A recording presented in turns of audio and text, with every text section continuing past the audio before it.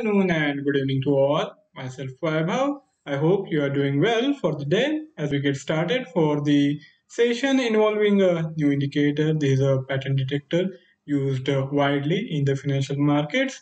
The name is Doji Candlestick. We will be concerned with the Dragonfly and Gravestone Doji here and uh, we will see how we can take the help of these uh, pattern to look for profitable trading opportunities both in the bullish as well as in the bearish momentum. So let us get started for the day.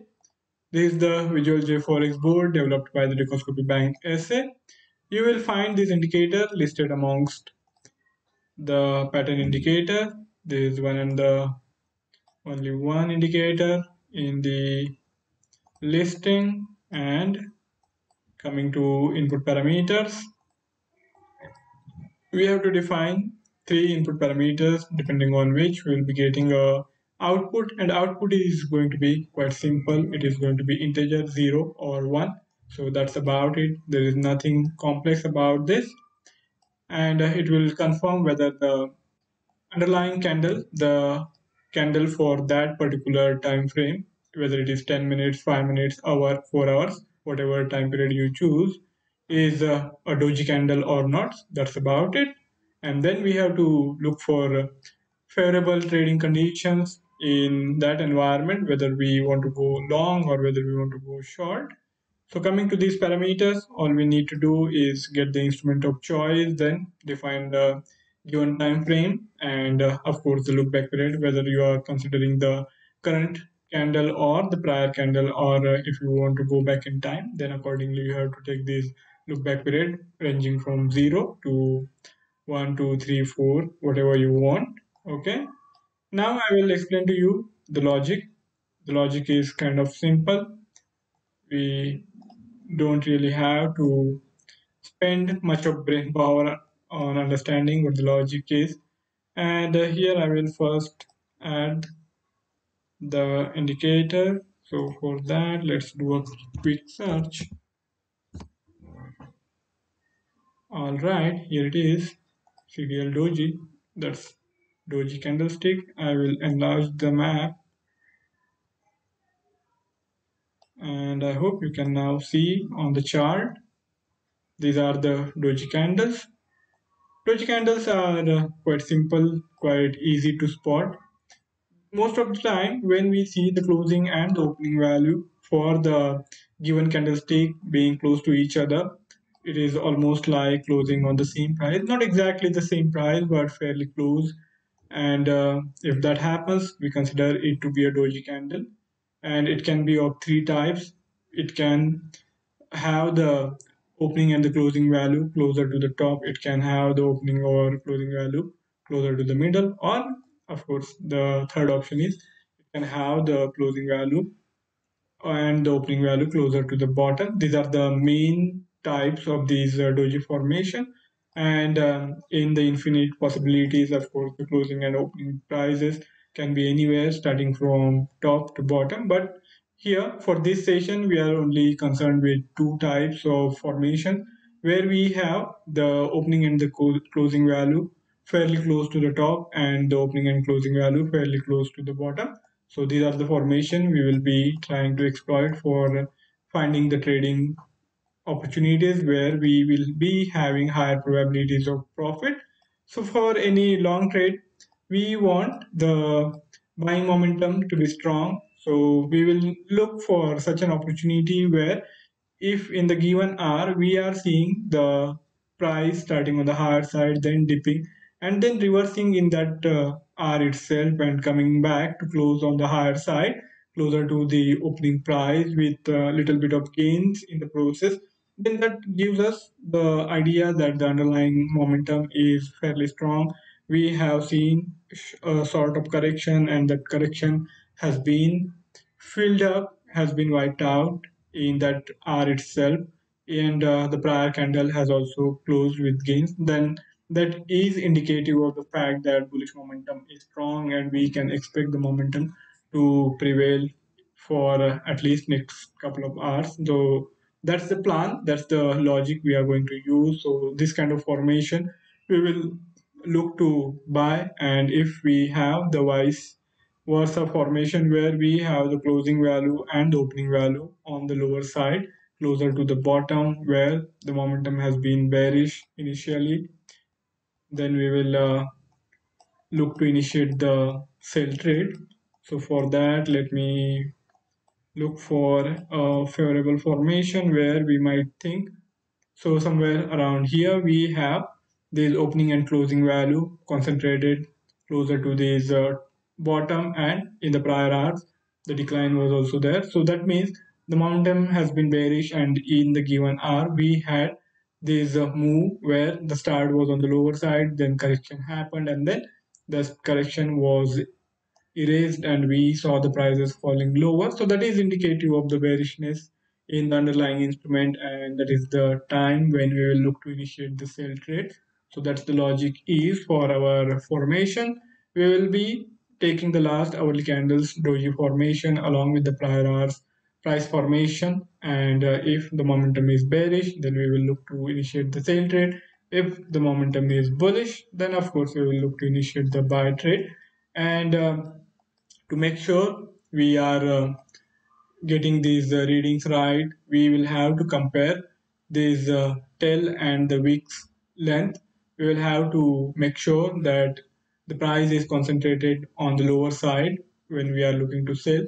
So we will do the comparison between the length of the top of the candle and the opening price when we are looking for the bearish formation with the bottom the low of the that particular candle and the closing price.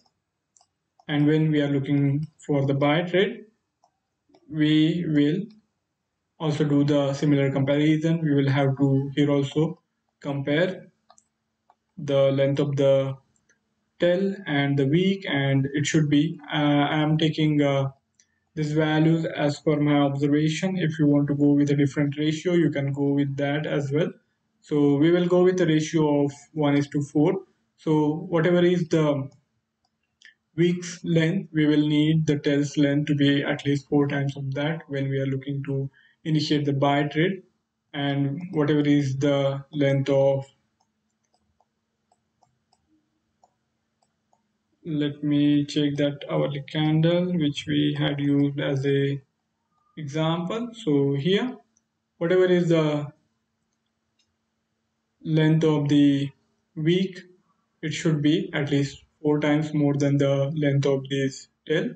So that's what we are going to rely on. The price formation should be favorable enough.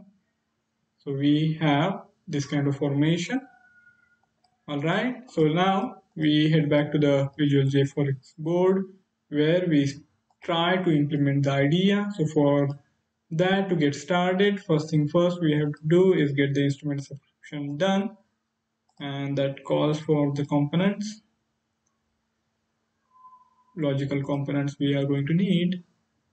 So I am going to take these blocks three of these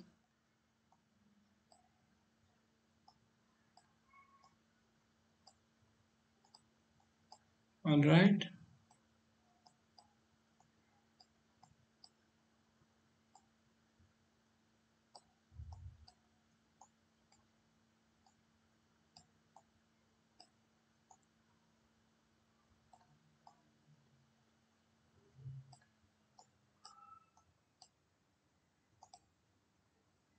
auto created variables.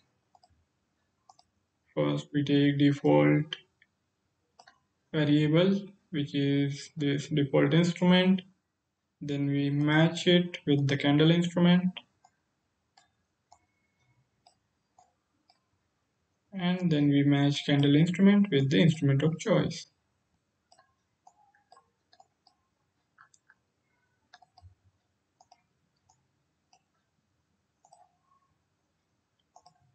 And I will take Euro USD as the instrument of choice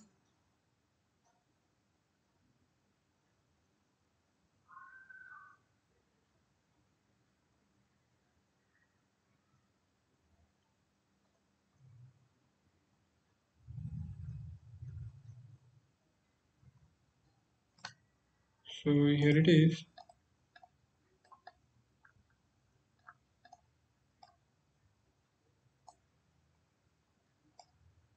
All right. Now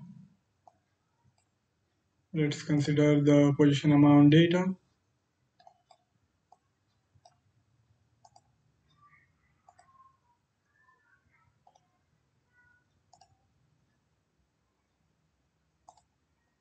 All position position amount it should be equal to 0 to make sure there is no existing open or pending position prior to the execution of a new trade.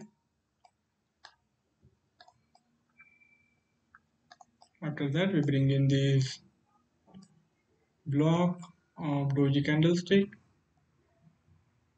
We will work with the hourly formation. So I will change the candle period to hourly.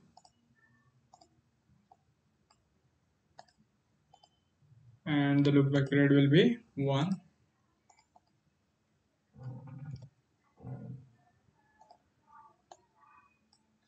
all right then we consider the price action data. So for that i'm going to use info component the get historical candle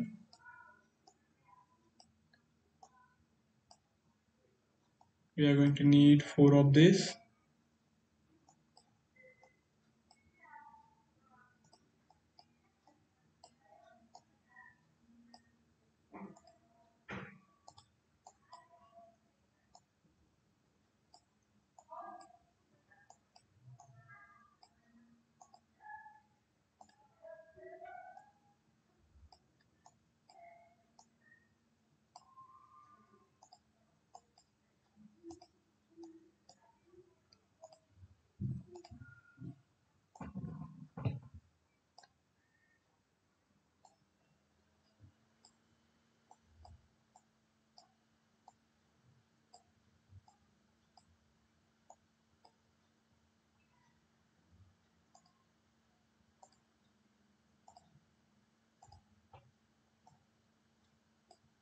candle period of hourly.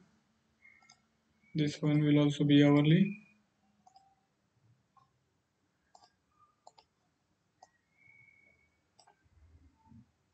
Candle period of 10 seconds. This one also will be changed to 10 seconds. Look back period of 1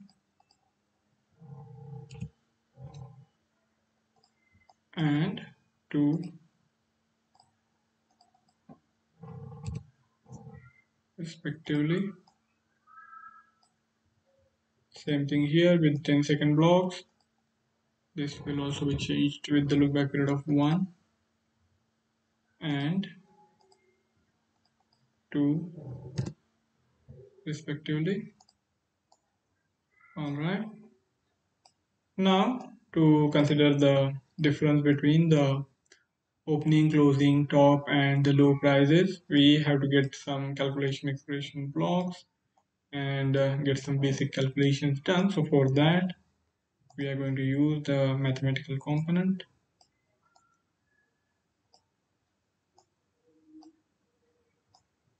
I'm not sure exactly how many of these we are going to need.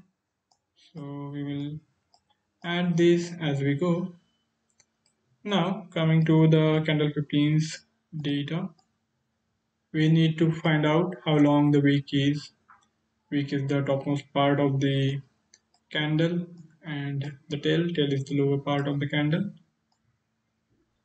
So for that, there will be two different scenarios as we are also going to rely on how that particular candle had closed, whether it had closed higher compared to the opening price or whether it had closed lower compared to the opening price.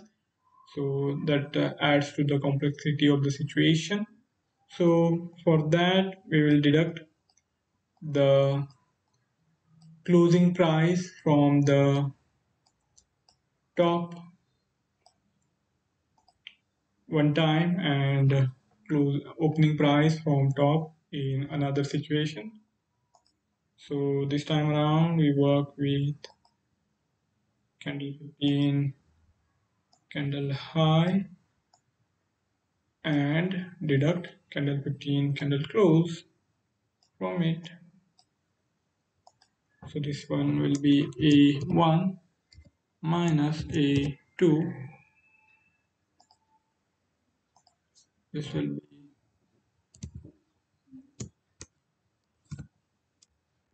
ehd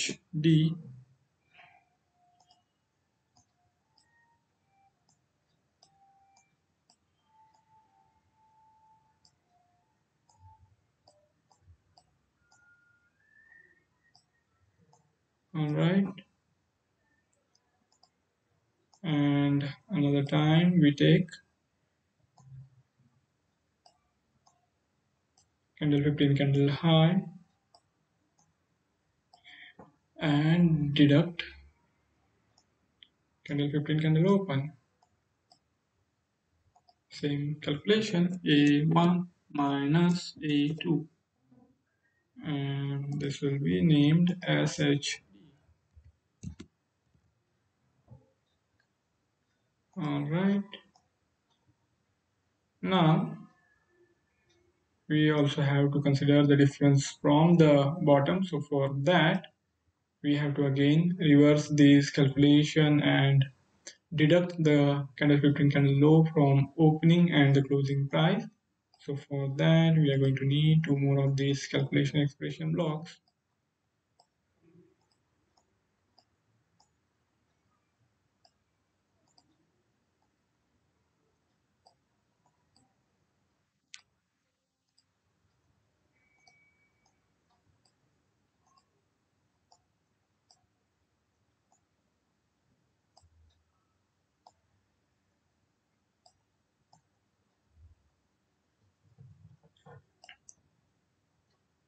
So we now take candle 15, candle open and candle 15, candle close. And deduct candle low in both the calculations. Candle 15 candle low is going to be the common parameter. So this one will be a1 minus a2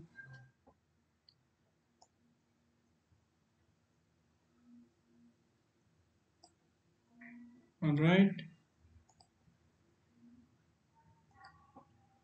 this will be named SLD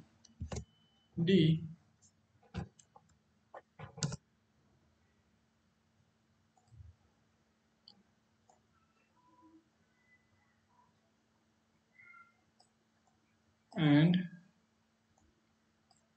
this difference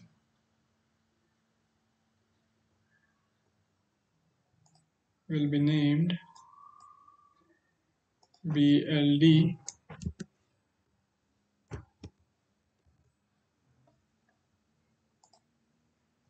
I have to define the actual calculations also. This is going to be A1 minus A2 all right so we have these calculations in place, place where the variables have been defined to look at the actual difference between the closing values and the opening value with the high and the low for the last hourly candle which we then utilize to set the condition for the actual execution of the trade. But uh, for the day we stop here and when we come back we will deal with the buy side of the equation and then subsequently we will also define the conditions for the execution of the sell trade. So that's it from my side for today. If you have any query or any idea to share on the logical as well as the execution part of this session you can write back to me in the feedback section.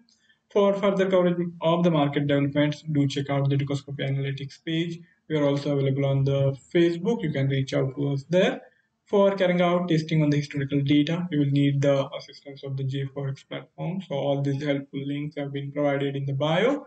Thank you all for joining in. See you next time around. Till then, goodbye.